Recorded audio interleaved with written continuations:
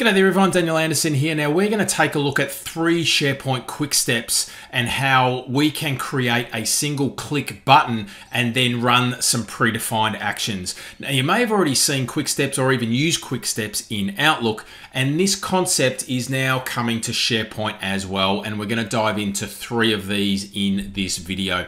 So we can see on the screen here, I've got draft an email or the three that we're going to take a look at. We're going to draft an email, we're going to start a Teams chat, and then we're also going to have a look at set a value. We're going to have a look at set a value first.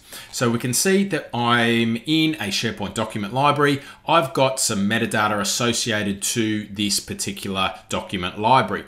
Now, to access or create our quick steps, we jump up to our more commands, we go to automate and we go to quick steps, then we can create a quick step.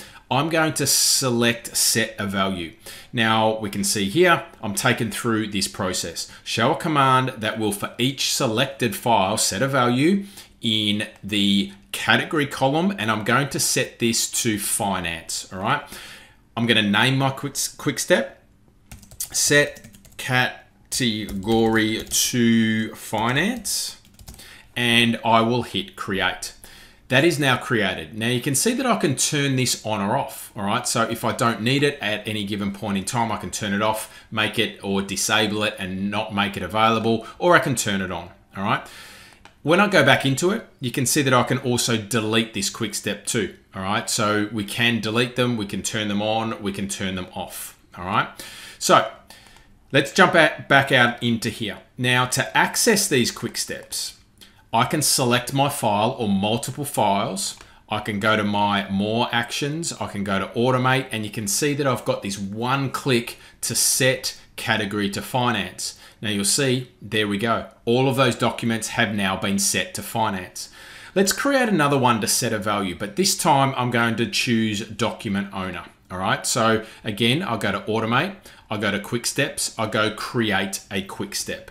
This time I'm going to choose set a value again, but I'm going to choose a document owner and I will choose Frankie as the owner.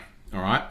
So set doc owner to Frankie and we'll hit create. Again, really, really good for bulk editing uh, metadata here. So I'm going to select these two here I'll go to the same menu, I'll go to automate, and I've now got set doc owner to Frankie. I'll click that, and those have now been set as well. All right, so setting a value is a quick step option. option.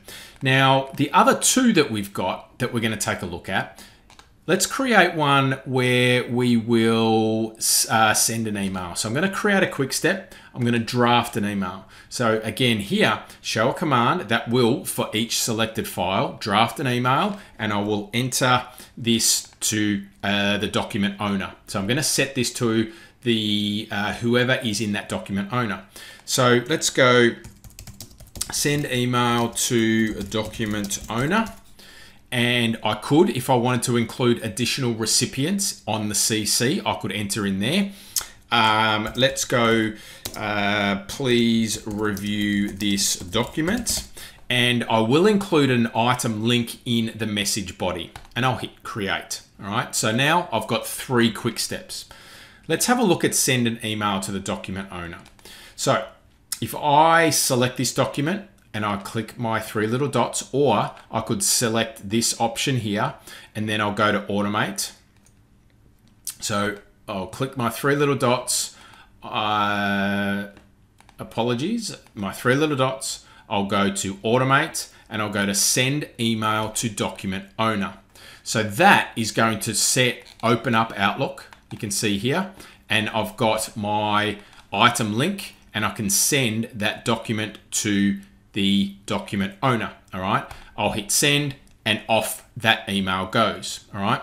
Or Let's have a look. I'll select three documents this time. I'll go to automate, but you'll notice that this doesn't allow us to select multiple documents and send an email. So this particular quick step, send an email, won't allow us to do that, whereas the set value does. All right, let's take a look at another one. So if I go to quick steps, I'll go create a quick step. Let's start a Teams chat. So again here, show a command that will for each selected file, start a Teams chat with, again, I'm gonna choose document owner. Or I could type in an email address or a name and that will pick up from the directory as well. So document owner, uh, start a Teams chat with document owner. I'll include the link and I'll hit create. So now I've got my four quick steps. Now I'm just gonna turn these two off. All right, so let's toggle these off. I'll close this. All right, so I will select my file. I'll hit my three little dots. I'll go to automate and I'll go to start a Teams chat with the document owner. I will open this in Teams in the client. Okay, so that then allows me to, and let me just pop this out into a new window. What that has done has popped this chat, I've got the item link and I will hit send and that has then sent an item to Frankie with a link and now we can start a Teams conversation and a Teams chat. Now, one thing that you'll see here is that the link actually doesn't it's not a it's not a hyperlink all right so what you might want to do is actually edit this i'll copy this which is a little bit of a, a, little bit of a pain. I'm sure things will uh, will fix up. Uh, and then what we can do is go to our link and then we can paste that in there and there we've got that particular link and now we can set that we can click it and we can open the actual document all right so we jump back in here let's go back to our quick steps I've got automate I've got uh, under quick steps. Let's go to manage quick steps. And here we've got all of these that are on. I'm going to turn these off. Okay. And we could delete these as well. So let's jump in here. We don't need this one anymore. Click, we don't need this one anymore. We'll click this one. We won't need this. We'll click, we won't need this either. And then these are all gone. Let me just refresh my page and let's have a look. So I'll jump into automate. I'll go to quick steps. I'll go to manage quick steps and you can see that we are all gone. All right. There we go.